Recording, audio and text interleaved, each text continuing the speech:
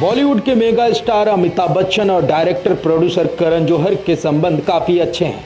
लेकिन एक TV show पर करण जौहर द्वारा ये बोला जाना कि अमिताभ बच्चन पंजाबी न होते हुए भी फर्राटेदार पंजाबी बोलते हैं।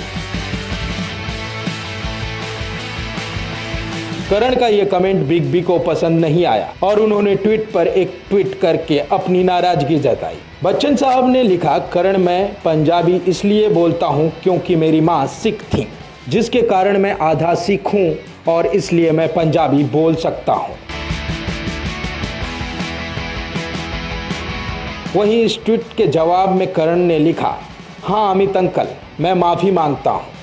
हम तो उम्मीद करते हैं कि करण का ये माफ़ीनामा बिग बी ने ज़रूर स्वीकार कर लिया होगा और उन्हें माफ़ भी कर दिया होगा। Bureau report, team Indian film history.